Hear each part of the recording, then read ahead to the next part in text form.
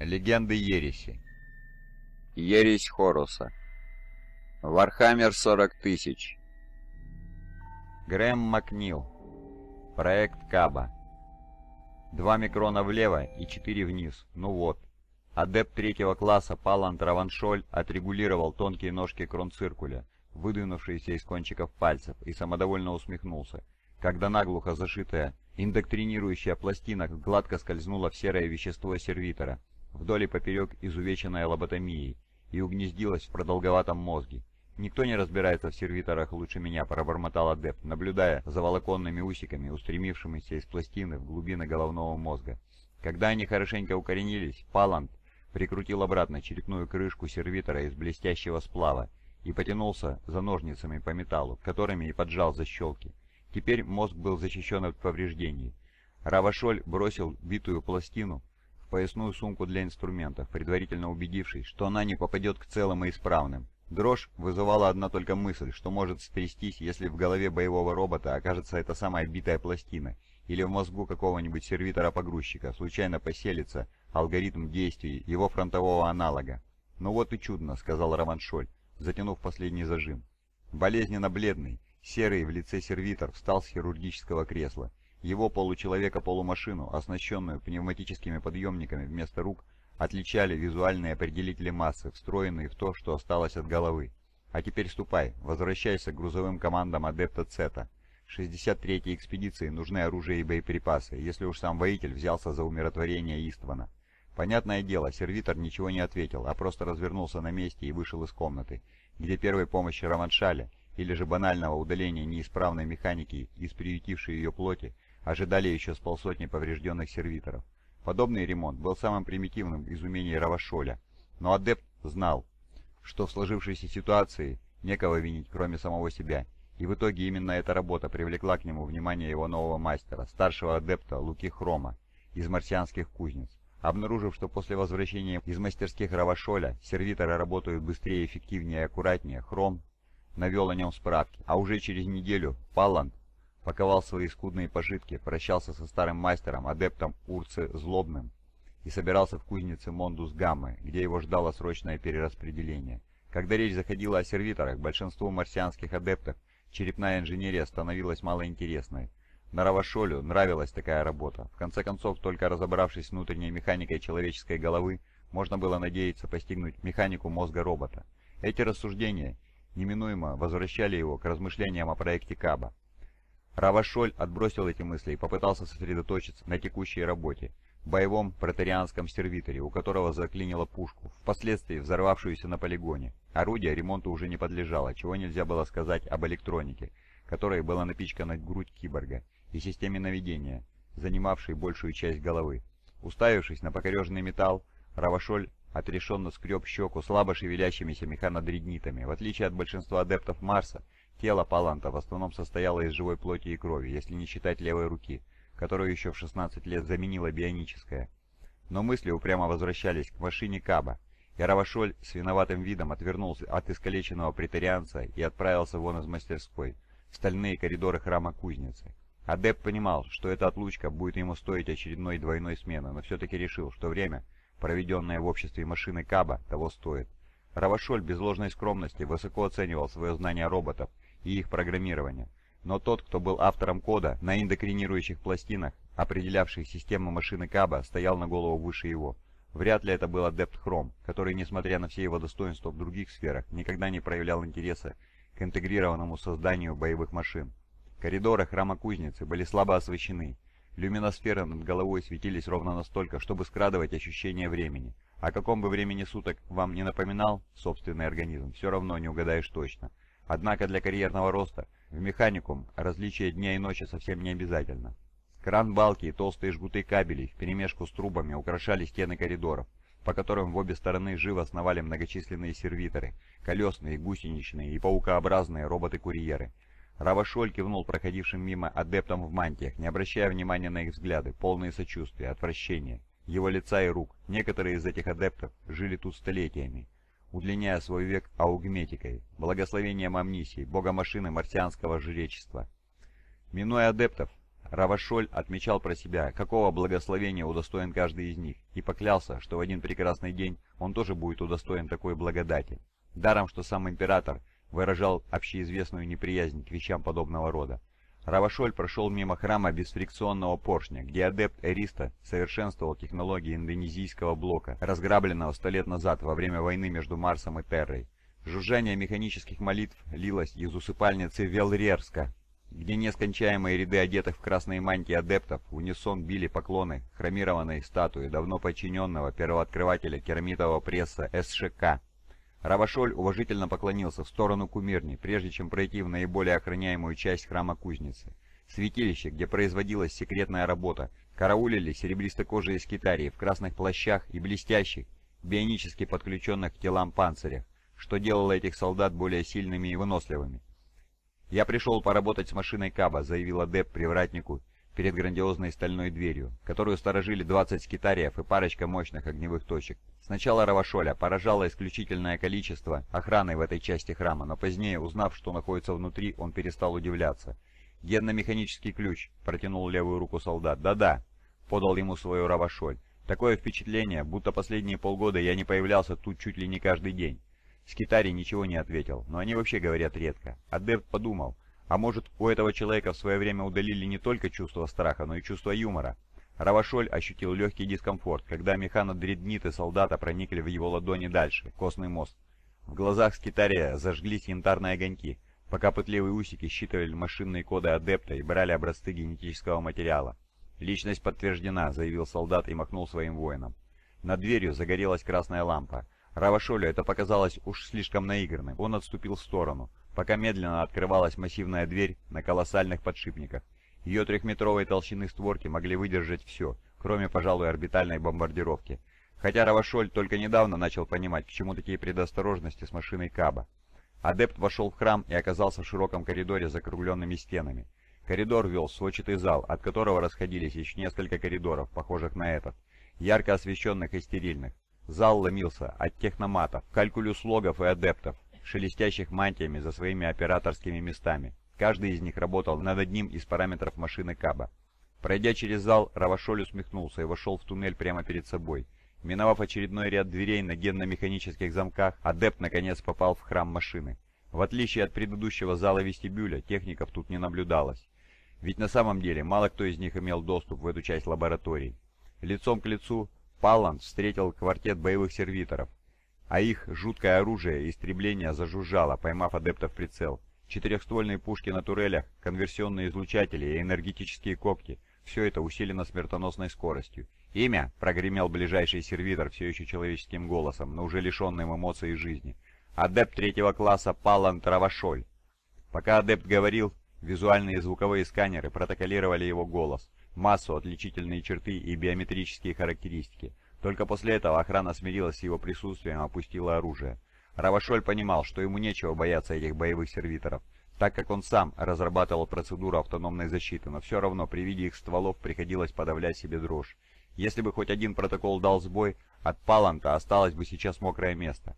Адепт прошел мимо боевых сервиторов, похлопал плавно вращающийся ствол пушки и взглянул на машину Каба с уже знакомой смесью волнения и трепета, возраставших с каждым шагом. Недвижная машина располагалась в дальнем конце комнаты. Монтаж гусеничного шасси для ее шарообразного бронированного корпуса еще не был завершен. В диаметре Каба достигал 6 метров, а в высоту все 10, хотя лишний метр добавляли высокие наплечники, защищавшие уязвимые суставы конечностей.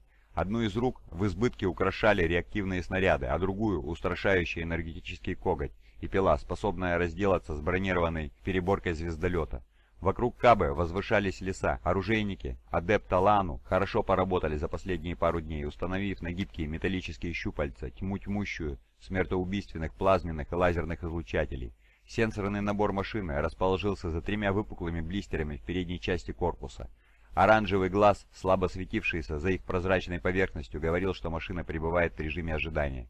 «Спит», — решил Равашоль, размышляя, стоит ли ему считать это забавным или тревожным. Не успев додумать эту мысль, адепт увидел, что тусклый огонек под сенсорными блистерами разгорается красным. Машина поздоровалась. «Здравствуй, Палант! Рад тебя видеть!» «И я тебя, Каба», — ответил Равашоль. «Как самочувствие?» Как самочувствие? Месяц тому назад он бы постыдился своего вопроса. Подобные вещи на Марсе считались не менее чуждыми, чем какие-нибудь ксеносы. Но за последние четыре недели отношения Равашоля с Кабой перевернули с ног на голову все то, что, как казалось адепту, он знал о природе машин.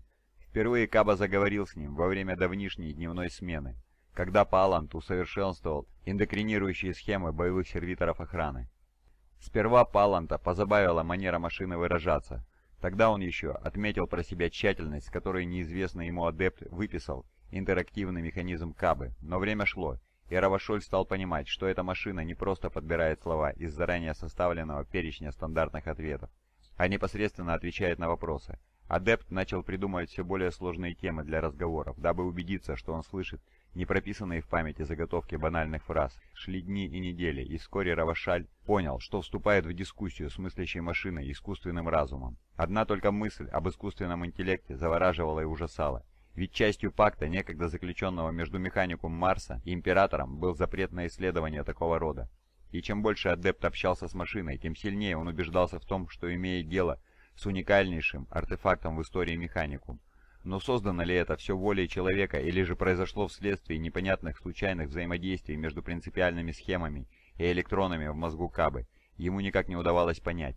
Как бы Равашолю не нравилось беседовать с машиной по имени Каба, он все же был не настолько наивен, чтобы верить в возможность утаить свое открытие от адепта Луки Хрома. Равашоль составил прошение об уидиенции и вернулся к рутинной работе, ведь он думал, что канитель с ходатайством займет не менее пары месяцев, но уже через неделю с удивлением обнаружил, что его прошение удовлетворено. Паланту вспомнился благоговейный трепет и страх, с каким он приблизился к резиденции адепта Хрома, святая святых внутренней кузницы, которой вел герметический транспортный туннель, похожий на те, что во множестве пересекали поверхность планеты в различных направлениях и связывали воедино колоссальные города-кузницы. Купола этих сооружений вздувались ожоговыми пузырями над обескровленной красной поверхностью Марса, унылые храмы железа, сплошь окутанные дымом, огнем и неустанным гулким ритмом индустрии. Храм кузницы адепта Хрома не был исключением. Его могучие бастионы покрытые начищенными до блеска железными плитами, высились в окружении сотен градирен, бесконечно извергавших над поверхностью купола миазмы, которые растворялись в небесах цвета серы. Неустанное громыхание машин отражалось эхом, и пока Равашоль поднимался по величественной лестнице, именуемой тысячей ступеней совершенства, на него свысока взирали стальные монументы древних адептов и их творений. Вот, например, адепт Ультерим вонзает свой взор аж в собственный же Сигма-Фи-опустошитель, установленный на противоположной стороне стальной лестницы. Трассу заполнили тысячи паломников, адептов, сервиторов и чиновников, каждый из которых торопился выполнить распоряжение начальства. Равашоль гордился принадлежностью к такой могущественной организации, как Механикум. Обутые в сандалии ноги прытко несли Паланта по дороге, мимо ходульников – громыхавших протерианцев и длинных танкеров, заправленных взращенной в чанах белковой массой. Последнюю потом закачают в бесчисленные раздаточные колонки, из которых и кормится все население Марса. После изнуряющего подъема по тысяче ступеней, через путанные переходы, в которых жили своей механической жизнью, всевозможные причудливые и непонятные машины, Равашоля быстренько провели от одного чиновника к другому. Адепт миновал десятки дверей с изображением черепов в шестерне. Интерьер храма Луки Хрома не мог сравниться ни с чем, прежде виденным Равашолем в жизни. Потрясающий собор во славу бога машины, где светоч науки и разума поит своей лучистой энергией высочайшие образцы механического совершенства. Уже в покоях старшего адепта, подле алтаря из стали и бронзы, за которым возвышалась воинственная фигура боевого титана типа разбойник, в бездействующем состоянии, Равашоль предстал перед марсианским владыкой, распоряжавшимся его судьбой. Лука Хром Ширококорпусной техножрец был облачен в кроваво-красную мантию, которой он и не пытался скрыть изобилие аугметики, благословившей все его существо. Ребристые трубки и кабели велись вокруг рук хрома, исчезая непосредственно в блоке питания за спиной, похожем на пару сложенных крыльев. Над спрятанной под глубоким капюшоном и тем не менее хорошо различимой головой кружили сервочерепа, образуя петлю бесконечности. Маска старшего адепта, как уже успел заметить Равашоль, изображала оскаленный череп, из пасти тянулись кабели, а в глазницах светились красные огоньки. «Адепт Хром», — начал Равашоль, доставая инфопланшет и целый ворох распечаток. «Сперва позвольте сказать, что для меня большая честь. Твое прошение касалось проекта Каба. перебил его адепт, отмахнувшись от преамбулы. Его голос звучал резко и казался искусственно сгенерированным, а шипение блока питания напоминало тяжелое скрипучее дыхание. э ну да», — разволновался Равашоль. «Говори, у меня много дел и очень мало времени». «Да, конечно же, мой повелитель», — кивнул Равашоль, придерживая планшет. «Постараюсь быть кратким, но мне так много хотелось бы вам поведать. Это так удивительно, беспрецедентно, я бы даже сказал, хоть и открылось случайно. «Адепт Равашоль!» — рявкнул Хром. «Ближе к делу, если не хочешь превратиться в сервитора. Что ты хотел мне сообщить?» «Сервитора? Нет. Ну, я хотел сказать...» — воскликнул Равашоль, пряча планшет и распечатки под мантию. «Дело э, в том, что... Как бы это объяснить?» Адепт Хром выпрямился, и Равашоль увидел, как из-за спины у него выезжает огромная ленточная пила, оружие тяжелых боевых сервиторов. «Да, повелитель», — поторопился Равашоль, — «мне кажется, Каба обрел разум». Он ожидал услышать какую-нибудь реакцию на свои слова, гневное восклицание, удивление, неверие, хоть что-то, но адепт Хром просто стоял, глядя на Равашоля красными огоньками. «Мой повелитель», — спросил Равашоль, — «вы меня слышали?» «Да», — ответил Хром, — «я знаю об этом». «Знаете?» — повторил неожиданно разочарованный Равашоль, поняв, что это откровение было таким лишь для него самого. «Я не понимаю». «И не должен», — заявил Хром. Его ужасная пила снова скрылась из виду. Проект Каба – результат совместной работы величайших умов Марса по созданию мыслящей машины. «Мыслящей машины?» — выдохнул Равашоль. Он хоть и общался с Кабой уже не одну неделю, но мысль о том, что разум машины — продукт плановой разработки, оставалась слишком невероятной. «Кому ты об этом еще рассказал, адепт Равашоль?» «Никому, мой повелитель. Мысль о том, чтобы сперва заручиться вашей поддержкой, мне показалась благоразумной». «Ты мудро поступил», — ответил Хром, а Равашоль приободрился. «Настали сомнительные времена. И кое-кто не видит нужды в том, чем мы занимаемся. Да, кивнул Равашоль, я как раз хотел спросить об этом. Разве не существует, ну, запрета на проведение таких исследований? Разве законом это не возбраняется? Запрет? Закон? Презрительно ухмыльнулся Хром. Нам что-то возбраняется? В каких технологиях можно отказать механикум? Нам будут указывать те, кто должен благодарить нас за оружие войны до оснащения своих флотов? У Равашоля по спине пробежал холодок, когда устами Хрома было озвучено едва ли не признание в мятеже. Ведь создание искусственного интеллекта находилось под запретом самого Императора. «Эти машины — следующий этап эволюции, адепт Равашоль», — продолжал Хром. «Кому как не тебе это понять? Твоя работа с эндокринирующими пластинами несравненна, но даже твои работы ограничены параметрами, заложенными в их тобой. Машины же, способные мыслить, откроют новую эпоху механического совершенствования. И тогда нам не придется зависеть от своей плоти, хрупкой и недолговечной. Равашоля заразил непреклонный энтузиазм Хрома, и он проговорил. «Так значит, император наконец-то одобрил стремление механикум к этим технологиям, воистину великий день настал». Полированные металлические пальцы Хрома потянулись к Равашолю и крепко схватили его за плечо. «Нет, юный адепт, нашу работу одобрил не император. А кто же?» — не сдавался Равашоль, котором любознательность перевесила чувство страха. «Воитель», — триумфально заявил Хром. «Наш покровитель сам Хорус». «Как самочувствие?» Равашоль понимал, что ему не следует находиться рядом с машиной Каба, но врожденное любопытство не давало ему забыть о запретном создании ни на минуту. Хотя уже один только вид этого сиятеля смерти убеждал адепта в правильности своего решения. Что бы там Хром не рассказывал о Кабе и будущем скачке в развитии роботехники, Равашоль не мог игнорировать сам факт попрания всевозможных обязательств, когда-либо взятых механикум. Иными словами, весь этот эксперимент. Нарушить клятву, принесенную императору, Мороз пробирал до костей от одной только этой мысли. «Вполне хорошо», — ответил Каба на вопрос Равашоля. «А вот у тебя я фиксирую ускоренное сердцебиение, повышенное артериальное давление и увеличение количества нейромедиаторов в крови. Что-то случилось?» Равашоль ступил поближе к машине Каба и сознался. «Да, я боюсь, случилось. Что именно тебя беспокоит?» «Ты», — грустно вздохнул Равашоль, — «меня беспокоит сам факт твоего существования». «Не понимаю», — ответила машина, — «разве мы не друзья?» «Да», — поспешил Равашоль. «Мы, конечно же, друзья, но дело не в этом. Просто, ну, тебя не должно было быть. Запрет Императора». «Император на меня сердится?» — поинтересовалась машина. «Нет-нет, об этом и речи не идет. Когда мы подписывали союзный договор с Императором, механикум было запрещено разрабатывать искусственный интеллект. Почему?» Равашоль сел на табурет перед заваленным инструментами столом и взял в руки микролазер, прежде чем смог выдавить из себя. «Точно не знаю. Есть древние легенды о том, как много тысяч лет назад Люди вели войну с расой разумных машин, и в той войне едва не погибло человечество. С тех пор технологии по разработке машинного интеллекта поставлены вне закона.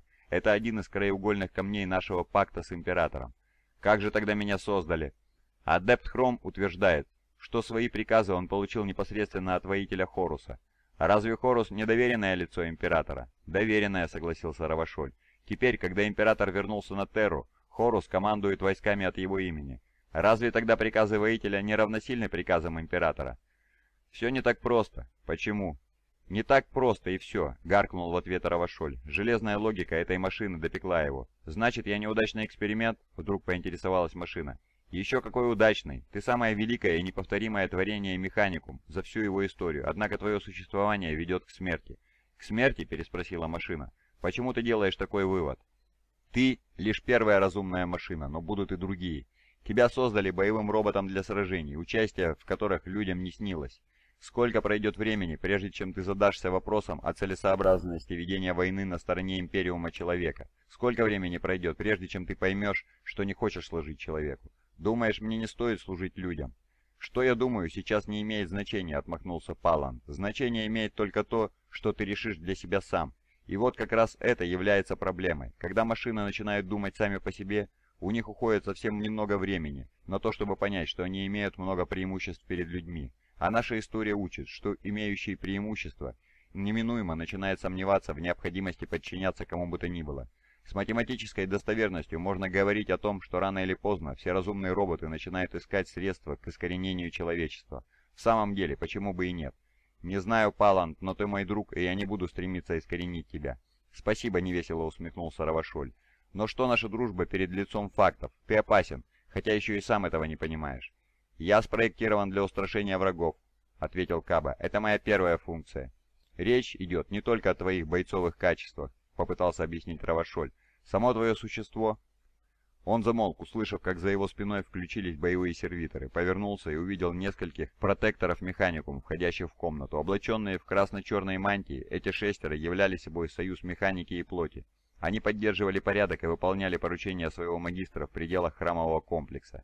Все протекторы были серьезно аугментированными в пределах своих жандармских функций, хорошо вооружены и снабжены всевозможными сенсорами, но все-таки не дотягивали до сервиторов по уровню механизации. Этими бойцами двигал человеческий мозг и сознание, хотя в их мертвых глазах, видневшихся за блестящими, лишенными эмоций масками, не было видно ни капли человечности.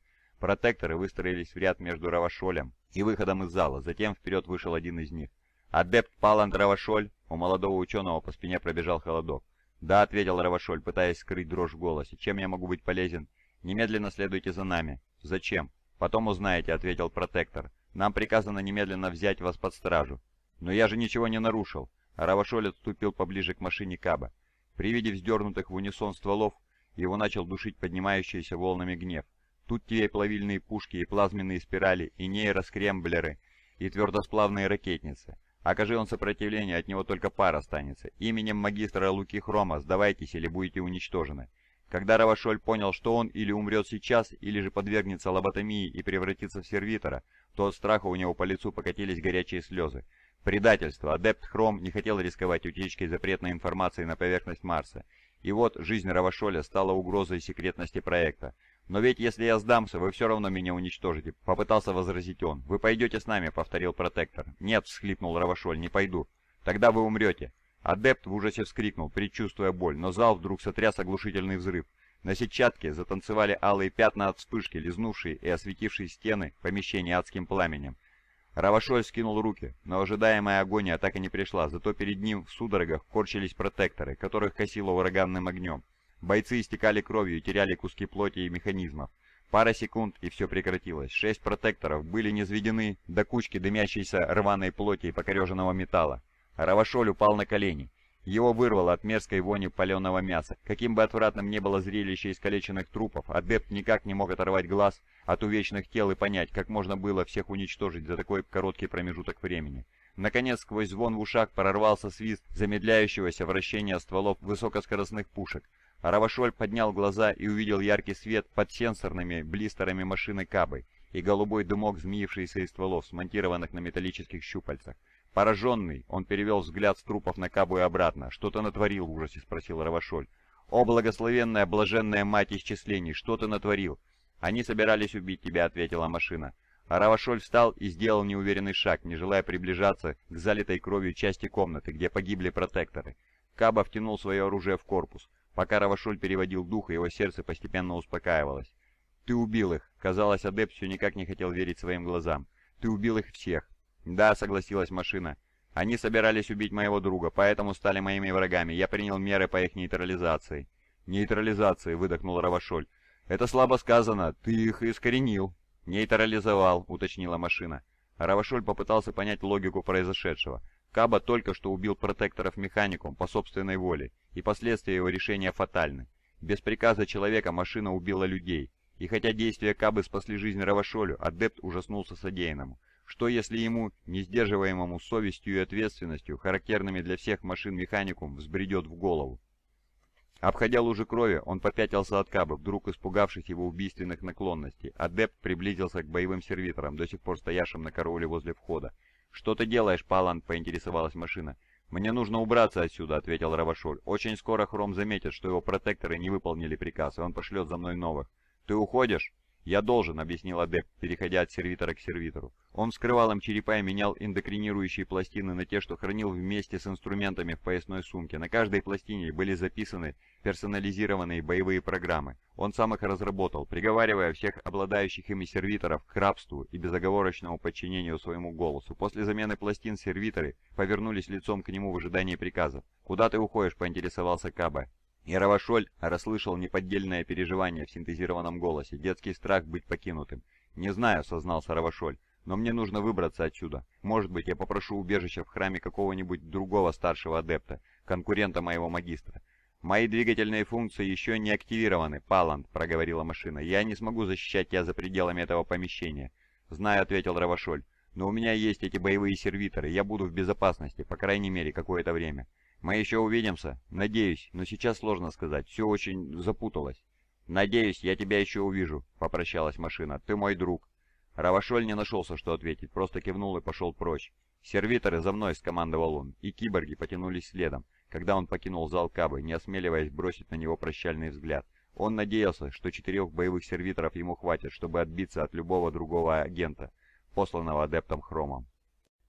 Спрятаться на Марсе было нетрудно. Умение найти выход из лабиринта индустриальной сети, в какую превратилась вся поверхность Марса, даже считалось одним из критериев отбора при посвящении в марсианское жречество – Равашоль помнил, как однажды целую неделю убил на попытке добраться до кузнечного комплекса и Плувьена Максимала, питаясь одной лишь белковой массой из раздаточных колонок, разбросанных по всему марсианскому комплексу.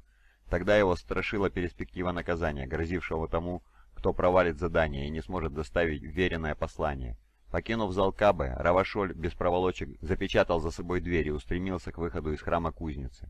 Если кто-то и счел странным кортеж из четырех боевых сервиторов, адепт это все равно не заметил. Мало кто мог встать на пути техножреца, обладавшего достаточным влиянием, чтобы обеспечить себя подобной свитой. Мысли его мчались вскачь, пока сам Равашоль пробирался по остальным коридорам кузницы. Адепт стремился как можно быстрее увеличить расстояние между собой и мертвыми протекторами. Он проскочил полуторакилометровый разрез красного камня, служившего строительным материалом для кузницы хрома. На украшенных барельефами стенах вокруг красовались чертежи древних механизмов и схемы древних алгоритмов, бывших древними уже в те времена, когда на марсианскую землю впервые ступила нога человека. Первые техножрецы принесли с собой забытые секреты человечества и берегли их, пока далекая Терра погружалась в пучину анархии и войны. Над стенами ущелья, под обширным куполом, защищавшим весь комплекс от пагубного влияния атмосферы слабым, оранжевым светом мерцали натриевые газоразрядные лампы. Струйки дыма и отдельные лучики прочерчивали грязное небо, в котором на высоте 3000 километров уже поблескивал проходящий по низкой орбите Фобос. Всю испещренную кратерами поверхность этого спутника покрывала огромная решетка антенн слежения. Время обращения спутника превращало его в индивидуального сыщика по всему волновому спектру. Второй спутник Марса, Деймос, еще не взошел. Из-за более длинной траектории у него уходило больше времени на путь вокруг Красной планеты. Равашоль не поднимал головы, словно страшась, что сенсорные антенны на Фобосе смогут различить его среди скопления народа, заполнившего ущелье. Насколько ему было известно, магистры Марса и не на такое способны. Вот уж вляпался, пробормотал он себе под нос, наконец-то добравшись до выхода из ущелья. Адепт вскарабкался по проложенным в стене воронке стальным ступеням, которые вели к одному из транспортных узлов, связывающих воедино разные кузницы-храмы и фабрики-мануфакториумы конце лестницы его ожидал целый комплекс туннелей, стеклянных и стальных мостиков, поворотных площадок, оглашаемых звуками клаксонов. Сюда стекались тысячи людей, подъезжавших на горизонтальных общественных транспортерах и магнитно-левитационных серебристых поездах, скользящих по поверхности Марса, подобно извивающимся змеям. Если и существовал хоть один стопроцентный способ затеряться на Марсе, то вот он. За пару часов из транспортного узла можно попасть в любую точку планеты. Размышляя, куда податься, Равашоль вдруг заметил, что привлекает любопытные взгляды прохожих. Может, в храме кузницы и было отнюдь непримечательным, что адепт его ранга путешествует в обществе боевых сервиторов, но здесь попытка раствориться в обычной толпе с такой свитой вряд ли будет успешной. Равашоль понимал, ему нужно было определиться с убежищем, пока то, что защищает его, не превратилось в то, что выдаст его властям. Он затесался в процессию разодетых в мантии прислужников бога-машины, спешащих к одному из серебристых маглевов. Равашоль понимал, что лучшего варианта, чем отправиться куда подальше от кузнечного комплекса хрома, у него нет. А уже на большом расстоянии можно будет подумать и о долговременном способе решения проблемы. Эскалатор поднял его к брюху одного из серебристых поездов. В вагоне Равашоль принялся расталкивать локтями других адептов в мантиях и прислужников, пытавшихся выйти на перрон. Беглец все быстрее продвигался по душным проходам нескончаемого поезда, пока в конце концов не нашел пустое купе, в котором и закрылся внутри со своими сервиторами. Они устроились на незатейливых металлических скамьях. В оконном проеме серебрилось силовое поле, позволявшее пассажирам видеть поверхность, но удерживающее внешний мир снаружи. Весь путь адепт хранил полнейшее молчание и молился, чтобы никому не пришло в голову ломиться в это купе. Через некоторое время над дверями замигала лампочка, а он все еще не мог расслабиться, даже когда поезд покинул транспортный узел и выкатился на марсианские равнины. Марс. Равашоль знал, что в древних мифах бог по имени Марс считался отцом-основателей Римской империи, центра культуры и технологических инноваций, будто бы подчинивший весь земной шар. На протяжении тысячелетий планета Марс будоражила воображение людей Терры, становясь символом угрозы, источником бедствий и легенд о мертвых цивилизациях. Однако вот уже много столетий, как эти представления вызывали разве что улыбку. Говорят еще, какой-то древний астроном открыл каналы на поверхности планеты, которые все считали рукотворными инженерными сооружениями, а не естественными руслами рек. Равашоль смотрел, как мимо него проносятся марсианские пейзажи, но от пустынь, богатых оксидами железа, благодаря которому планета заслужила эпитет «красная», не осталось буквально ничего. Тексты, которые доводилось читать Равашолю, рассказывали о терраформировании Марса, происходившем много тысяч лет назад, когда южную полярную шапку растопили с помощью орбитальных лазеров и таким образом освободили огромное количество двуокиси углерода. Благодаря этому температура поднялась настолько, что вода смогла существовать в жидком состоянии, и в атмосфере образовался озоновый слой. На планете появилась генетически модифицированная растительность, обогащавшая воздух новыми запасами двуокиси углерода, кислорода и азота. Но также адепт знал о том, что за какую-то пару сотен лет вся эта фантастическая деятельность пошла на смарку из-за механикум, распространившегося по планете будто вирус. На поверхности Марса началось строительство обширных кузнечных комплексов, нефтеперегонных заводов размером с целый материк, оружейных цехов. И вскоре атмосфера Марса была загрязнена не меньше земной. Горы выпотрошены в поисках руды, а поверхность планеты покрыта дорогами, карьерами и жуткими монументами во славу машины. Поезд как раз миновал Аскрийскую гору, щитовой вулкан диаметром более 300 километров, нынешнюю базу легиона титанов Легио Темпестус. В склоне горы были устроены могучие золотые ворота, охраняемые с обоих сторон двумя мощными боевыми машинами, казавшимися маленькими на таком расстоянии. Вокруг вулкана расползалась промзона. Купола и стальные шпили давали отпор загрязненной атмосфере Марса с воистину человеческой изощренностью. В небе стоял дым коромыслом а огненные плюмажи неисчислимых нефтезаводов говорили о топливе для Великого Крестового Похода Императора. Относительно чистыми остались только самые высокие вершины горных районов планеты, но и те не были безлюдными и теперь служили храмами и мануфакториумами. Даже смутное лицо в северном районе столовых гор Кедония было разрушено, сравнено с землей и застроено громоздившимися храмами техножрецов. Равашоль посмотрел в защищенное силовым экраном окно, когда поезд описывал плавную дугу в восточном направлении, и мельком глянул на громаду священного комплекса. Его храмы, кумирни и усыпальницы покрывали миллионы квадратных километров и служили домом для миллиардов верных жрецов. «А вдруг я именно тут обрету совет?» — сказал он своим сервиторам. Но сервиторы, хоть и вздрогнули от звука его голоса, ничего не ответили. Старший адепт Хром безучастно наблюдал за командой сервиторов-утилизаторов, когда те прибирали в зале кабы кровавые ошметки, оставшиеся от протекторов. Само побоище Лукахром удостоил лишь незаинтересованным взглядом. Уцелевшие механические составляющие пойдут на переработку, а органику используют для создания белковой массы на пропитание техноматов и сервиторов. Машина Каба бездействовала в дальнем конце помещения, ее сенсорные блистеры горели тусклым желтым светом. Это сигнализировало о том, что техножрецы адепта Лаану, корпевшие над внешним каркасом машины, уже отключили ее голосовые, слуховые и зрительные каналы. Вместе с Лукой Хромом в зал вошла и стройная фигура в облегающем костюме из блестящего синтетического материала, переливающегося всеми оттенками крови. Фигура выглядела подтянутой и спортивной, видимо, благодаря энергичному образу жизни, физическим упражнениям, разным генетическим манипуляциям и хирургическому вмешательству. «Это все натворила машина?»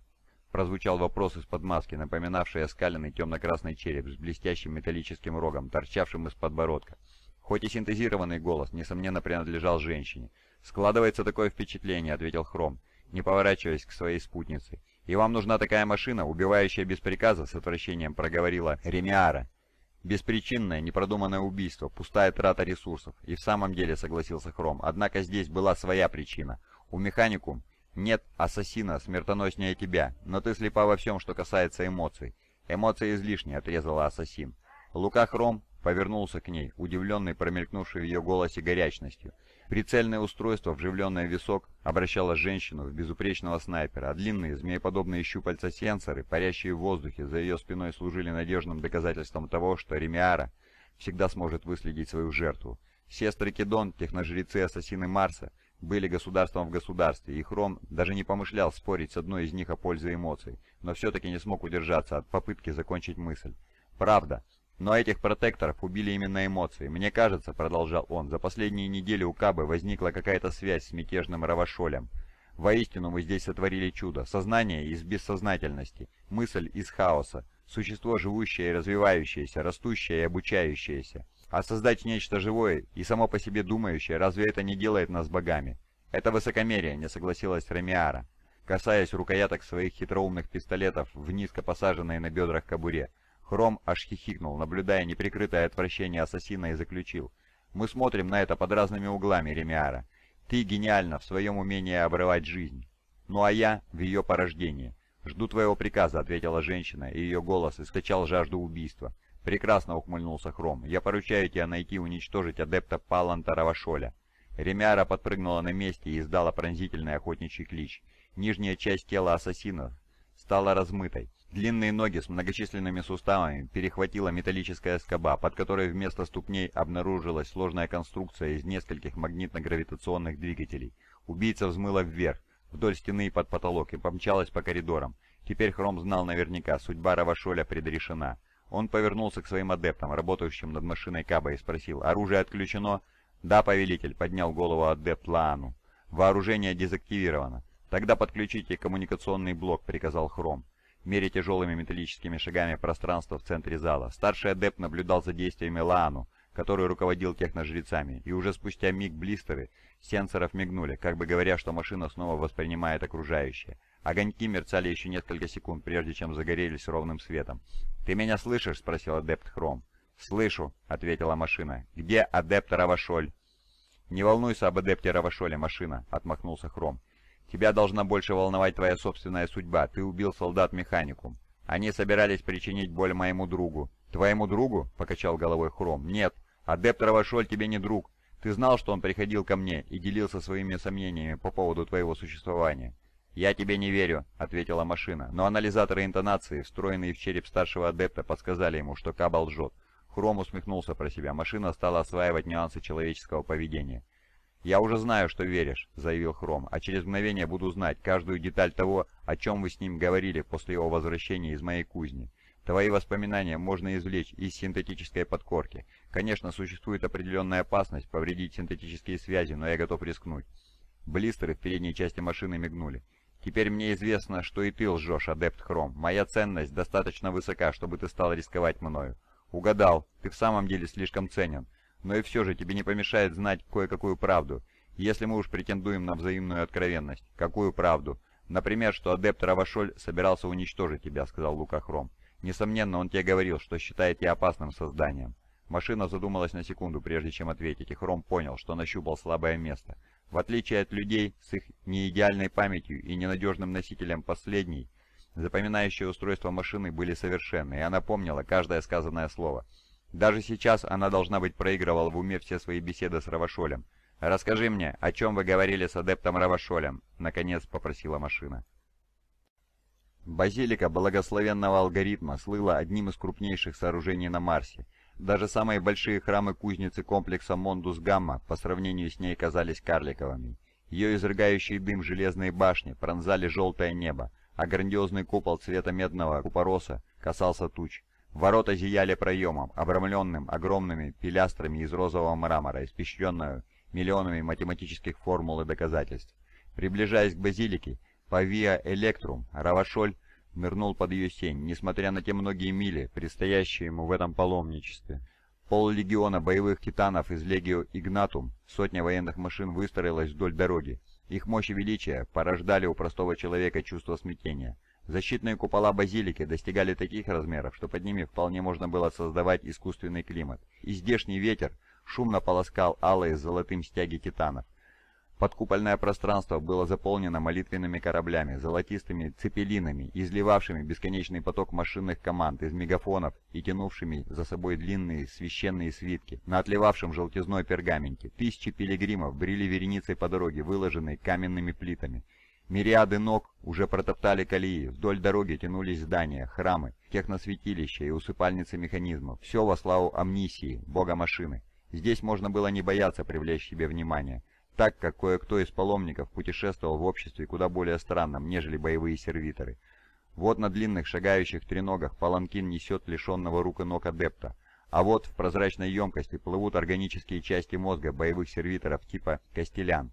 К базилике спешили толпы автоматов, летели сервочерепа и скиммеры с пассажирами и мощами. На лицах же тех немногих, кто двигался в противоположном направлении, читалось умиротворение людей, чьи пожелания исполнились сверх меры. В воздухе уже ощущалось величие места, к которому приближался Равашоль, и он понял, что сделал правильный выбор, придя сюда.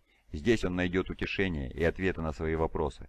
Адепт вздрогнул, когда на него упала тень боевого титана типа разбойник, стоявшего с воздетым к небу оружием, жестом символическим и много что разъяснявшим. Механикум был в состоянии создавать самые разнообразные машины для убийства, но теперь Равашоль понимал, что ответственностью за их применение никто себя не обременял. Творцы машины Каба добились чудесных результатов, но вот кто возьмет на себя ответственность за ее существование? Одержимые тем, что можно создать конструкторы механикум, даже не задумывались над тем, нужно ли это создавать.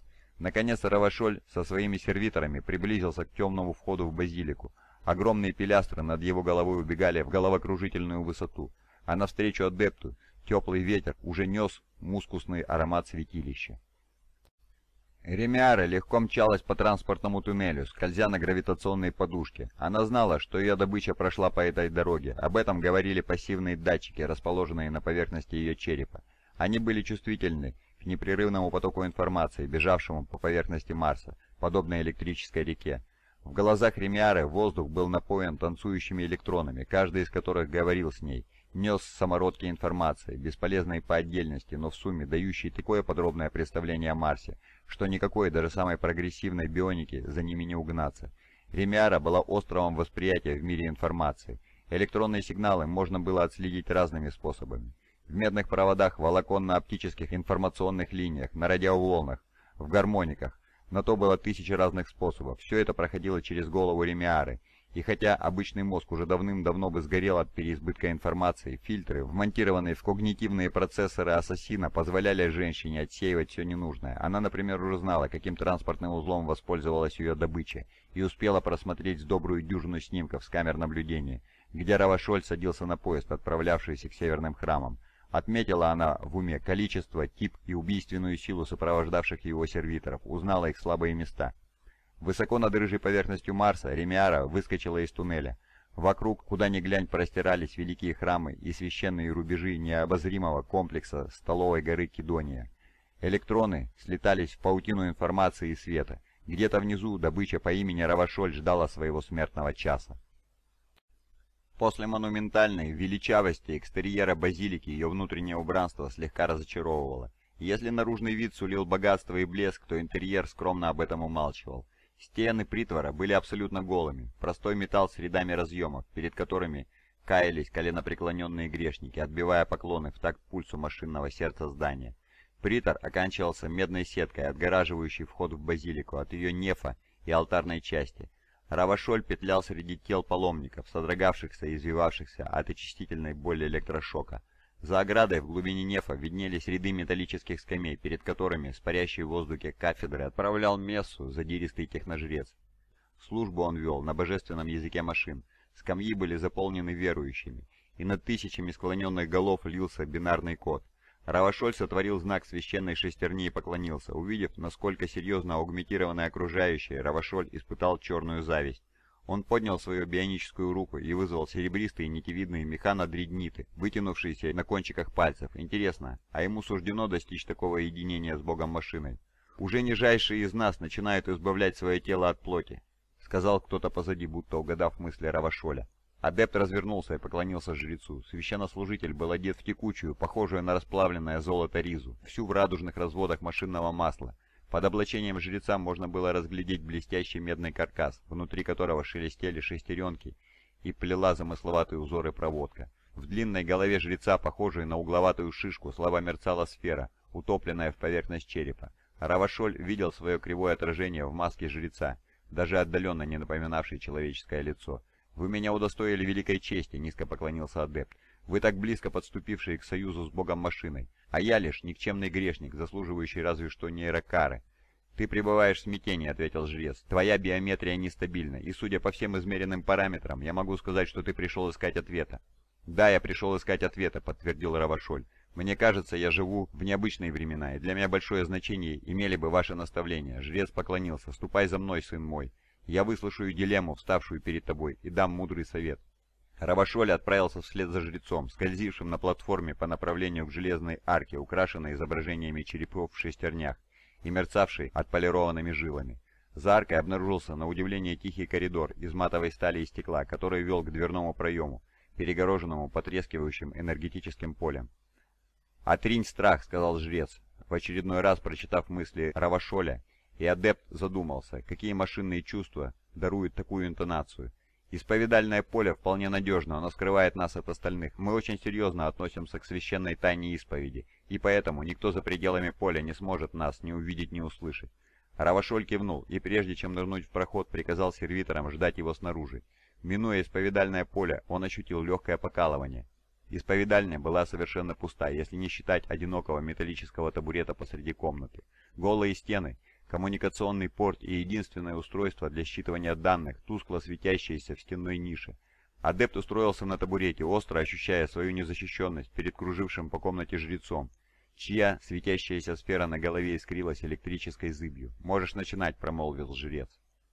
Яровашоль начал свой рассказ о работе с адептом Хромом и участии в проекте Каба, о своем мастерстве настройки эндокринирующих пластин и обнаружении разума у машины Каба, что противоречило запрету Императора.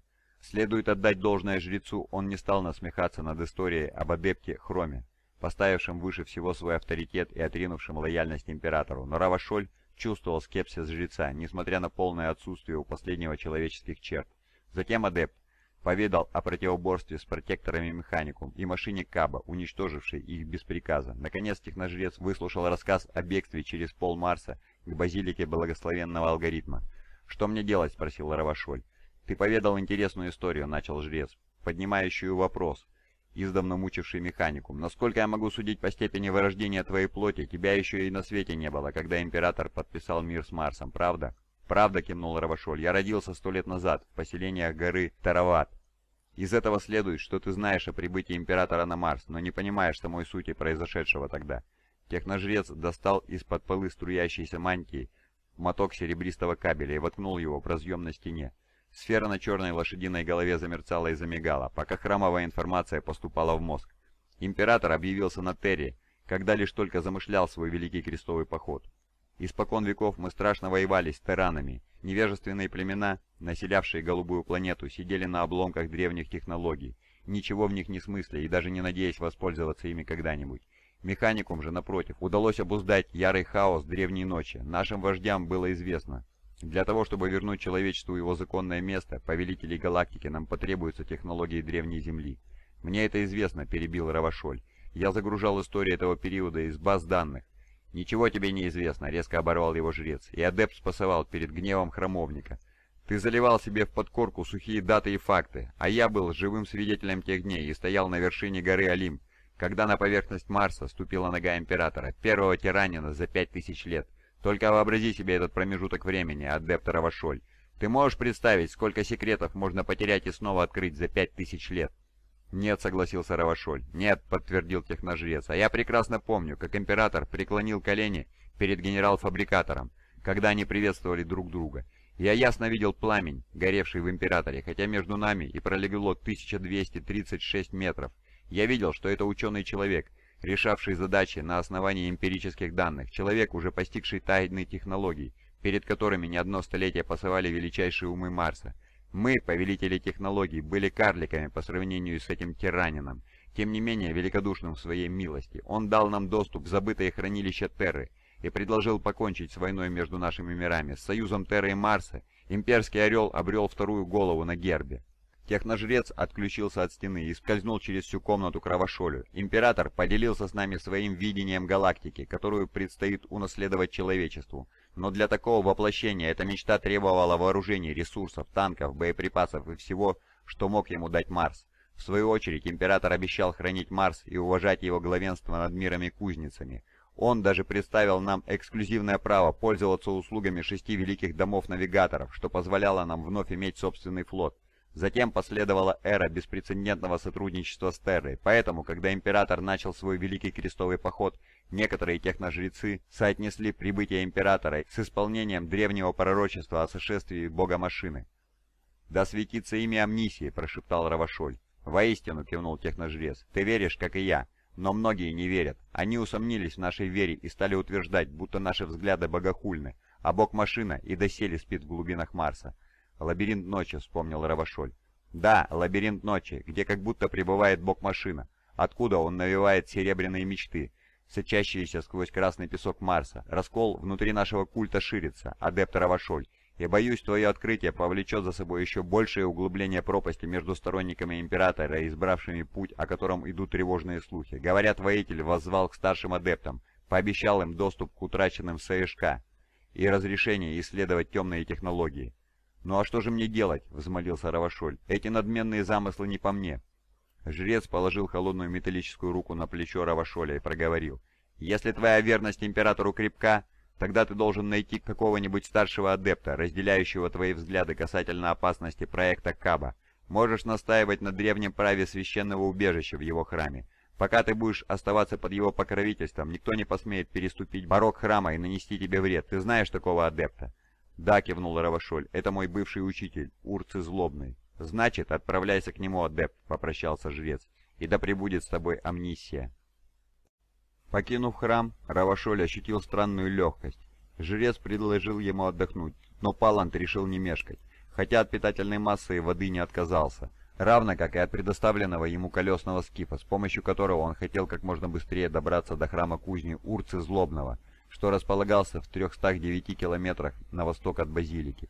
Боевые сервиторы сидели неподвижно на корме скифа, пока Равашоль сознанием дела вел его сквозь пеструю толпу, мимо еще более странных транспортных средств, заполнивших металлические дороги Марса. Адепту легко удавалось избегать столкновений, ведь скиф непрерывно посылал впереди себя электронную дугу, регистрирующую все на своем пути, и ненавязчиво отводил встречных путников и транспорт со своего курса. Благодаря этому Равашоль уверенно продвигался вперед. Оставшаяся позади базилика постепенно тонула за линией горизонта, в то время как Равашоль приближался к владениям адепта Злобного, чьи кузницы ковали оружие и броню для Астартес. День и ночь напролет там изготовлялись силовые доспехи Марк-4, предназначавшиеся космодесантникам, и болтеры, с помощью которых вояки защищали целые звездные системы от врагов человечества. Чем дальше, тем темнее становилось небо. Откуда-то набежали грязные кляксы дымных туч, обступившие дорогу здания с покрытыми сажей черными стенами мрачно и угрожающе нависали над Равашолем. Рядом громыхали огромные грузовозы, и пространство полнилось ритмом могучих кузнец, эхо разносило гулкий промышленный набат войны. На шпилях высоких башен танцевали молнии, наполняя желто-красное небо ползучим страхом и ощущением близящейся бури. На этой планете дождей никогда не бывало, но Равашоль знал, что вскоре здесь разразится такой шторм, который смоет все различия между враждующими лагерями потоком крови. Равашоль прекрасно понимал, что вся его жизнь теперь подчинена единственной цели, а выбора у него по-настоящему никогда и не было. Он оказался одиноким солдатом Императора, исполняющим долг, что для него было единственно верным в данной ситуации.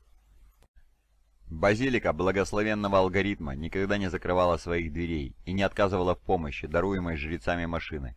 Говоривший с Равашолем служитель базилики стоял на коленях перед терминалом, полностью отдавшись блаженному ритму планеты. Его переполняли утонченные мелодии приборов, говоривших друг с другом из противоположных полушарий Марса. Визит молодого адепта обеспокоил жреца сильнее, чем следовало бы, и стал очередным примером того, как низко пал механикум со времен славного пришествия Императора. Сразу же после отбытия Равашоля жрец подключился к храму и провел эти моменты единения в священном сопричастии с машиной Марса. Первым, что указало на дурной ход событий, стало постепенное затихание звуков, будто бы один за другим умолкали все аппараты планеты. Озадаченный священнослужитель запустил самодиагностику и к своему ужасу обнаружил, что отключилось уже несколько его основных интерфейсов. Сияние сенсорной сферы стало интенсивнее, и он окинул взглядом свое окружение на все 360 градусов. Позади обнаружилась фигура, облаченная в облегающий комбинезон темно-красного цвета. И хотя прошло уже достаточно много времени с тех пор, как священник расстался с большей частью своей плоти на хирургическом столе, он помнил достаточно, чтобы понять, что перед ним представительница женского пола. На ее стройных бедрах висело два пистолета, но в ужас священника привели не они, а пучок проводов в одной ее руке и набор изысканных инструментов в другой. Служитель храма опустил взгляд и заметил широкий квадратный вырез на своей мантии, из которого выглядывали аккуратно откушенные края контактов. «Кто вы?» — спросил он, с облегчением заметив, что его вокс-кодер до сих пор функционирует. «Меня зовут Ремиара», — ответила женщина. «Где адепт Равашоль?» «Кто?» — переспросил священник, прекрасно понимая всю тщетность отпирательства. Адептом Марса имя Ремиары было известно лучше некуда, а значит близится ужасный и абсолютно необратимый миг. Ассасин улыбнулась, заметив, какое впечатление произвело ее имя, и склонила голову. Постучав пальцем по гипертрофированной половинке черепа с многочисленными имплантированными сенсорами, привитыми к ее маске, она заявила. «Я проследовала сюда по информационному следу, так что не злите меня, говоря, будто бы вы впервые слышите об этом адепте. Где он сейчас?» Жрец взглянул на вход в комнату, моля амнисию о том, чтобы хоть кому-нибудь из братьев-техножрецов пришло в голову заглянуть в исповедальню или внять его молчаливому зову о помощи, которую он сейчас передавал в эфир. Киллер бросила на пол выдранные из жреца детали и помотала головой. Затем погрозила ему пальцем, словно непослушному ребенку, и опустилась перед ним на колени. «Здесь ну уж очень сокровенная ризница», — проговорила она, поднимая свои изысканные инструменты. «А ваше исповедальное поле позаботится о том, чтобы нас никто не побеспокоил. «Зачем вы это все делаете?» — спросил жрец. «Хотя бы это скажите мне».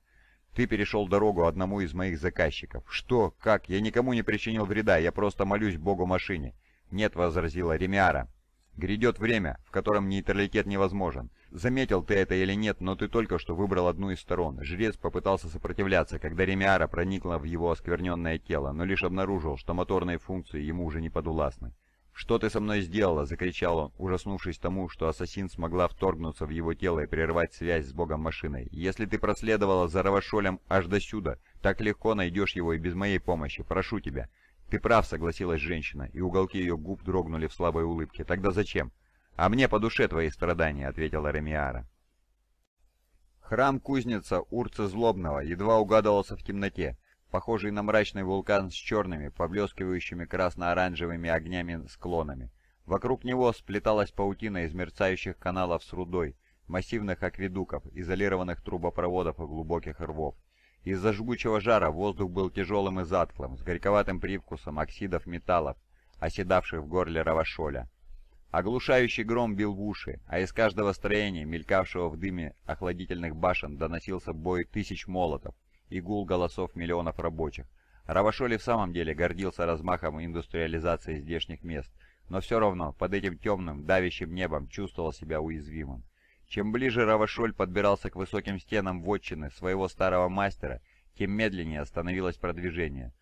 С пассивной электронной дуги или без, но из-за обильного движения танкеров, рабочих и балкерных транспортеров, скиф Равашоля очень небыстро полз в общем дорожном потоке. Постепенно, с ловкостью человека, проработавшего в здешних местах не один год, адепт вырулил на главную магистраль, что вела к могучим воротам храма Урцы. Минуя толпы народа, Равашоль ощутил приток неожиданной радости и улыбался от одной мысли, что вновь вступит в храм, бывший когда-то ему родным домом. Жрец машины указал ему цель, и Палан почти поверил, что его испытанием близится конец. На подъезде к воротам, самому настоящему порталу, оснащенному огромными поршнями размером с титана каждый, Равашоль заметил красное пятно, обогнавшее его. Внезапно в лицо ему ударил горящий фонтан машинного масла и крови, а на пассажирское сиденье рядом упала отсеченная голова. Адепт завопил. Он ударил по тормозам и развернулся в кресле. Один из сервиторов завалился на стенку транспортера. Все говорило о том, что его редуцированная нервная система сочла тело мертвым. Сервитор рухнул на пол с тяжелым металлическим звоном, а из обрубка его шеи хлестнула кровь. Остальные сервиторы не обратили ни малейшего внимания на смерть товарища, стеклянным взглядом взирая на дорогу впереди и не реагируя на то, что хозяин лихорадочно оглядывался в поисках нападавшего. Адепт соскочил с водительского сиденья, припал к полу и затаился под креслом заметив мерцающий красный отблеск в облаках. Он прищурился, пытаясь проникнуть сквозь завесу суспензии в небе, и таки рассмотрел устремившуюся к его транспортеру гибкую фигуру в красном комбинезоне, вооруженную энергетическим клинком. Равашоль видел ее впервые, но сразу узнал. «Сервиторы!» — закричал он, указывая на летящего ассасина. «Защитите меня!» Три оставшихся сервитора в одно мгновение повскакивали, бросились заряжать энергетическое оружие и подключили боевые протоколы в поисках идентифицированной хозяином цели, а Равашоль снова залег на дно, когда резкая очередь из крупнокалиберного оружия расколола небеса, осыпав скиф дождем медных гильз, падавших на дно транспортера с музыкальным звоном. Вскоре хлесткий отзвук скорострельного лазера смешался с эхом выстрелов из тяжелого болтера. Благодаря мысленному контролю над своими модернизированными сервиторами, Равашоль мог приказать им взять в цель и уничтожить ее. Третий выживший сервитор выкарабкался из транспортера, чтобы прикрыть Паланта. Люди, оказавшиеся поблизости от скифа, бросились в рассыпную подальше от огня. Сервитор поднял левую руку в силовой рукавице, накопившую смертоносный заряд энергии, а правая заканчивалась плазменным шокером, подходящим для ближнего боя. В тяжелых ботинках и плотном десантном комбинезоне сервитор казался вполне надежным заслонником от ассасина, но лишь казался. Равашоль прекрасно сознавал, что обычному сервитору ни за что не задержать профессионального убийцу надолго. «Ты со мной!» — крикнул Равашоль, рискнув при этом задрать голову и посмотреть в небо. Ассасин мельтешил от здания к зданию, неведомым способом передвигаясь на ногах, удивительно гнущихся во все стороны, скользя по стенам и крутясь в воздухе алым акробатом. Нечеловеческая скорость передвижения позволяла ей легко уворачиваться от лазерных импульсов и снарядов. Стены зданий брызнули осколками камня и металла, но тоже не причинили ей ни малейшего вреда. Вот ответным огнем огрызнулись пистолеты ассасина, и один из сервиторов покрылся кровавыми ранами. Он не упал, но пригнулся и продолжал стрелять, пока не получил пулю в лоб, на выходе снесшую ему полчерепа. Равашоль бросился к величественным воротам кузницы адепта Злобного, ибо знал, что стоит ему провозгласить просьбу об укрытии в святилище, и уже никакой ассасин не посмеет посягнуть на твердыню старшего адепта. За палантом бежал сервитор, громыхая по металлической дороге. Еще один остался прикрывать их отход. Даже боевому сервитору долго не выдержать такого напора, однако и вход в кузнечный комплекс был всего лишь в нескольких шагах. Охваченные паникой люди стремились к воротам, пытаясь укрыться от огня и летящих во все стороны осколков. Равашоль осмелился бросить взгляд через плечо и увидел, как, скользя над дорожным полотном, к уже разбитому средству передвижения приближается ассасин а боевой сервитор выглядывает из-за корпуса скифа, пытаясь поразить соперника прицельным выстрелом. Не ожидавшая контратаки ассасин метнулась к кювету, петляя среди шквального лазерного огня, только и успевавшего выплавить пару воронок на металлической поверхности магистрали. Ремиара сделала сальто и, пролетая вверх ногами над сервитором, неуловимо взмахнула мечом, лезвие которого горело голубым пламенем. Вдогонку ассасину понеслись очередные лазерные разряды, но они были слишком неистовы и хаотичны, Сервитор повалился на землю, разрубленный на две половины.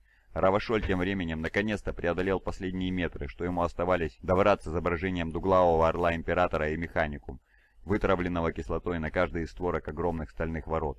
При входе Равашоль поспешно окунул пальцы обеих рук в чашу со священным машинным маслом, и только его роги опустились в вязкую субстанцию, как сзади послышалось чье-то приближающееся басовитое гудение. Палант окропил маслом вокруг себя и громко воззвал. Именем адепта Урцы Злобного и по древнему обычаю я прошу укрытия в святилище этого храма, прошу покровительства, оказанного мне когда-то магистром этой кузницы». Не успел он закончить, как два конусообразных проектора силового щита, установленных на потолке, повернулись к нему. Равашоль поднял голову и увидел зеленое свечение на их остриях. Мощный силовой разряд очертил дугу между потолком и полом, где-то за спиной адепта. Палант оглянулся в ужасе, когда его ушей достиг виз. Клинок энергетического меча ассасина ярко вспыхнул и заискрил, наткнувшись на только что сгенерированное конверсионное поле.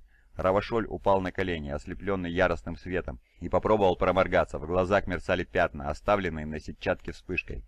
Техножрица-ассасин, Равашоль уже успел ее разглядеть, унеслась вверх по спирали, в темноту, спеша укрыться от сблокированных стволов на турелях, пытавшихся взять ее на мушку. Она улизнула, скользя по стенам здания, и окончательно исчезла в марсианской ночи. «Слава богу машине!» – прошептал Равашоль с бешено колотящимся сердцем. Он все еще стоял на коленях, когда вокруг него начали собираться зеваки. Им явно было любопытно, что побудило его искать укрытие в здешнем святилище, и каким человеком нужно быть, чтобы привлечь себе внимание техножрицы-ассасина. Палант устало пересел на корточки, обхватив голову руками, а навстречу ему выдвинулись из глубины храма трое протекторов механикум, вооруженных болтерными копьями, закованных в ужасающего вида панцири и оснащенных по последнему слову военной техники. Последний сервитор собрался было дать отпор этим протекторам, но Равашоль его остановил. «Отбой! Это протекторы Урца Злобного!» «Ну и кавардак же ты устроил», — сказал старший адепт Урцы Злобный, приглушенный бронзовой маской голосом. Три зеленых бионических глаза в бледном остове черепа подсвечивали красный капюшон изнутри. Магистр Урцы передвигался на человеческих ногах, но только ноги, да еще правая рука, все, что осталось от его человеческой природы. Красная мантия Урцы была из вулканической резины, плотной и очень прочной. На спине у него громоздился чудовищный блок питания, основная масса которого поддерживалась локальными силовыми полями. Туда-сюда носились дистанционно управляемые дроны. «Да», — ответил Равашоль, — «он с последним оставшимся в живых сервитором проследовали за Урцу Злобным в пещерные кабинеты храма кузни.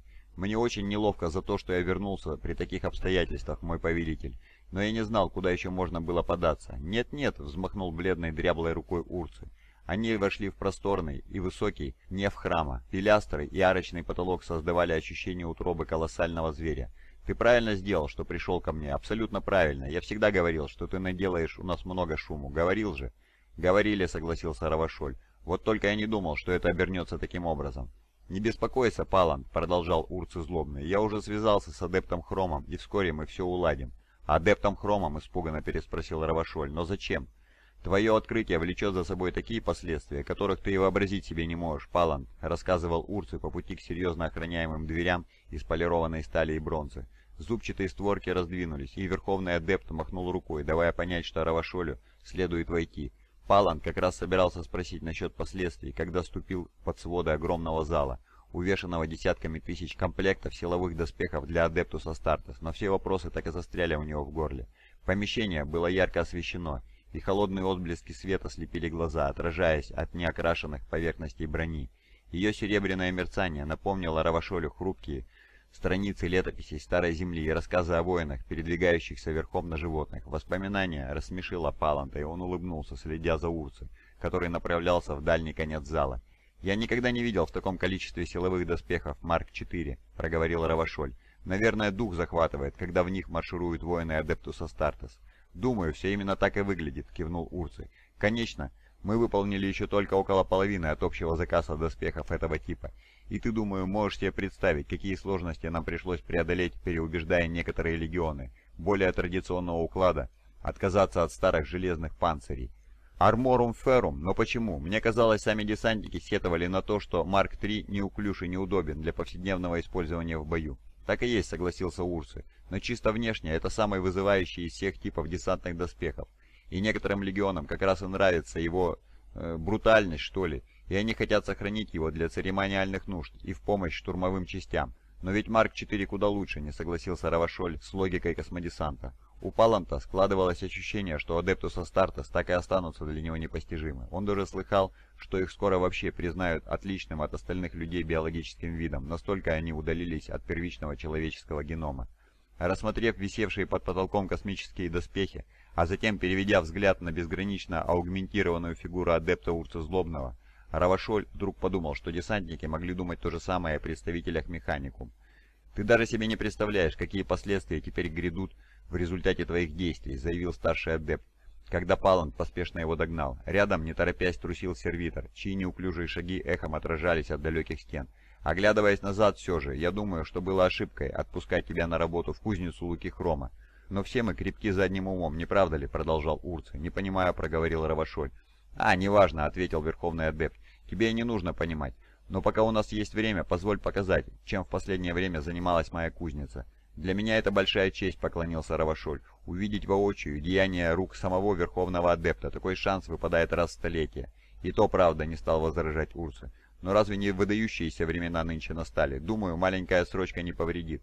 Равашоль шагал за Верховным Адептом вдоль рядов пустых доспехов в самую дальнюю часть зала, где на ступенчатом подиуме из красного мрамора с золотистыми и серебристыми прожилками взгромоздился высокий черный цилиндр. Урцы поднялся по ступенькам, и один из его дронов нырнул к черному цилиндру. Мигнул загоревшимся глазом и жужжанием выдвинул из себя ключ. Последний скользнул в цилиндр, хотя Равашолю так и не удалось разглядеть замочной скважины. Дрон отпрянул и спрятался за старшим адептом, когда что-то загудело. Чернота в цилиндре завихрилась и стала постепенно сереть, погружаясь куда-то в помост, будто чернильное облако, растворявшееся в воде. С течением времени уже можно было рассмотреть содержимое цилиндра, чья поверхность из матовой плавно стала полупрозрачной, а затем и вовсе невидимой. Ошеломленный Равашоль разинул рот от удивления, когда перед ним предстал великолепный терминаторский доспех, самый удивительный из всех виденных им ранее. Обладавший более массивными пропорциями, нежели Марк-4, этот панцирь мог похвастаться сегментами из пластин, выкрашенными в цвет самой черной ночи. Окантовка отливала золотом и бронзой, и Палант прекрасно понимал, что над каждой деталью этого доспеха трудились самые искусные мастера Марса. По краю наплечников шел ряд золотых заклепок, а в центре нагрудной пластины горел янтарный глаз в окружении ощеренных золотых волосков. Высокий латный ворот светился красными огнями, а на плечах крепилась тяжелая волчья шкура. Равашоль поднялся по ступенькам и встал перед доспехом. Одна лишь близость к этому произведению искусства пьянила и даже немного пугала. Адепт протянул руку к полированным пластинам, и пальцы его дрожали. Пласталь оказалась холодной на ощупь, но в металле чувствовалась легкая вибрация, словно сокрытый в доспехе дух машины видел сны о грядущих битвах. Палан взглянул вверх, туда, где должно было находиться лицо воина, и содрогнулся, внезапно испугавшись этого мрачного панциря. «Это вершина моего мастерства», — гордо заявил Урций. «Ничего более совершенного мне сделать уже не суждено. Он великолепен». Попятился Равашоль от доспеха, который внезапно показался ему вместилищем абстрактного ужаса. Что-то в этих агрессивных линиях говорила об океанах крови, которую прольет обладатель доспеха, кем бы он ни был. Панцирь, очевидно, должен был не только защищать, но и устрашать. Для кого он? Для самого воителя, улыбнулся Урци. Равашоля захлестнула волна страха, когда он заглянул под капюшон Урцы, где светились три глаза. Рядом с верховным адептом Палант казался карликом. В животе у него заныло, внутренности сжались комок от одной только мысли. Он допустил ужасную ошибку, придя сюда. «Для Хоруса», — выдохнул Равашоль. «Его самого», — ответил Урс. «Доспех будет отправлен в систему Иствана со дня на день. По-моему, пришло время раскрыть карты, Палант, не правда ли?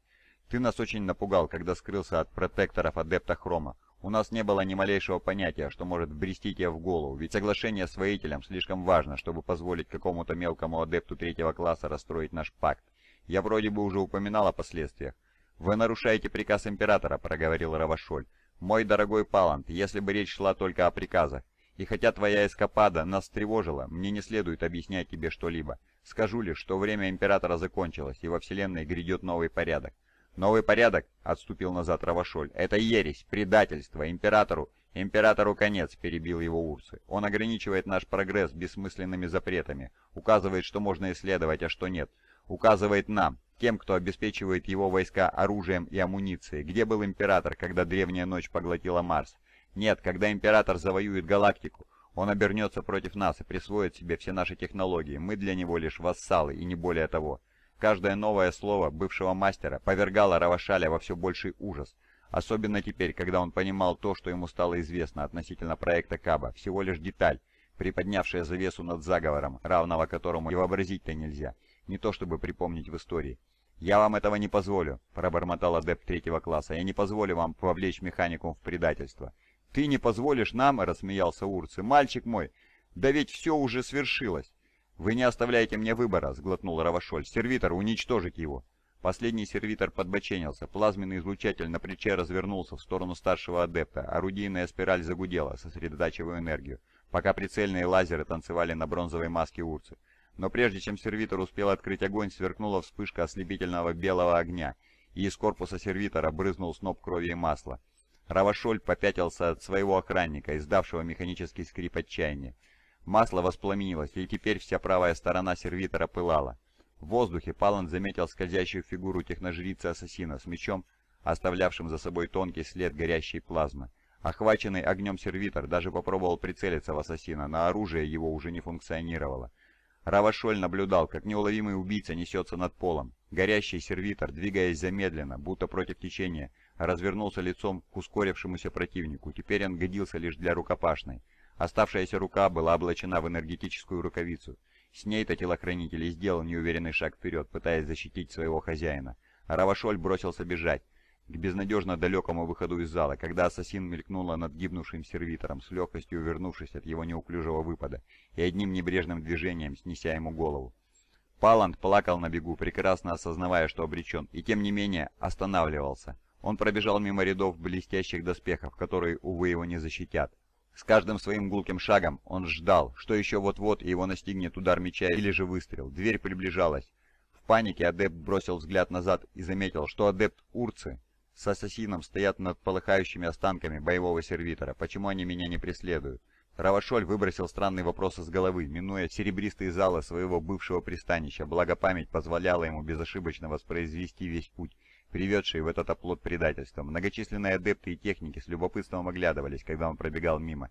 Его цель — громадные входные ворота в кузницу, поэтому все остальные не стоят ни малейшего внимания. Наконец-то он выскочил за ворота, где еще недавно просил укрытия в храме кузницы. Каким глупцом он был, думая, что Урца чтит древнее право, ведь весь механикум втянут в измену. Великие врата были открыты, и орел, выгравированный на их створках, уже казался серьезнейшим оскорблением. Равашоль выбежал в жар марсианской ночи и еле смог затормозить перед машиной Каба. «Привет, Палант!» — поздоровалась машина. «Рад тебя видеть!» Наконец машина могла самостоятельно передвигаться. Равашоль заметил, что ее сферический корпус установлен на широком гусеничном шасси. Каба возносился над адептом, его могучие конечности были направлены в небо, а гибкие щупальца-манипуляторы плавно змеились в воздухе. Сенсорные блистеры горели матовым янтарным огнем. Как бы Равашолю не хотелось бежать, а внутренний голос подсказывал, что таким образом он только ускорит смерть. «Откуда ты здесь взялся?» — осторожно поинтересовался адепт. «Я искал тебя, Палант», — ответила машина. «Зачем?» — спросил Равашоль. «Мне казалось, мы друзья». Мысли адепта пустились скач. Неужели Каба сбежал из кузницы Луки Хрома, словно животное в поисках пропавшего хозяина? «Мы друзья!» — вскричал Равашоль. «Да-да, самые, что ни на есть друзья!» «Тогда почему ты хотел меня уничтожить?» «Уничтожить? «Я никогда такого не говорил». Сенсорные блистеры Кабак гневно залились алым цветом. «Ты считаешь меня опасным созданием и не веришь в возможность моего существования. Недоступность моего существования равнозначна моему уничтожению, а я умирать не хочу, я не заслужил смерти». Равашоль молитвенно скинул руки. «Но теперь-то ты должен понять, что меня просто беспокоило появление такого создания, как ты». «А адепт Хром рассказал мне о вашем с ним разговоре», — прорычала машина о том, что ты считаешь меня незаконным и неправильным созданием. «Ну, в каком-то смысле так и есть», — согласился Равашоль, все еще надеясь воззвать к машинной логике. «Император запретил эксперименты с искусственным интеллектом. Но из твоих рассуждений неминуемо следует вывод о необходимости моего уничтожения», — заметил Каба. «Этого я не могу допустить. Единственное право и желание каждого разумного существа защищаться от причиняемого ему вреда». Равашоль сделал шаг назад от машины и оцепенело смотрел, как из-за ее широкого, корпуса вылетает верховный адепт Лука Хром. Вот почему урцы с ассасином позволили Равашолю покинуть храм. Им всем хотелось узнать, сможет ли Каба убить меня. Палант Равашоль услышал шаги, обернувшись, увидел своего бывшего мастера возле железных ворот. Урцы кивнул, и массивные поршни зашипели, наглухо закрывая блестящие створы ворот. Равашоль упал на колени и снизу вверх смотрел на подкатившуюся машину, наставившую на него оружие. Адепт Хром встал рядом с Кабой. «Давай!» Я не смогу вас остановить, но ни одно из ваших деяний не останется безнаказанным. В этой галактике, покачал головой Хром, не существует ни наказаний, ни поощрений, адепт Равашоль. Одни лишь сплошные последствия. Что ж, надеюсь, последствия вашего предательства не обойдутся Марсу слишком дорого. Это уже решать воителю, ответил Хром и кивнул Кабе. Равашоль взглянул на рдеющие сенсорные блистеры и увидел в них лишь холодный, не поддающийся эмоциям разум, который не имел никакого права на существование и в один прекрасный момент обратит оружие против своих хозяев. Так же, как он, собственно говоря, собирался поступить прямо сейчас. «Прощай, Палант», — целясь произнесла машина. Равашоль закрыл глаза, и его мир обратился в пламя.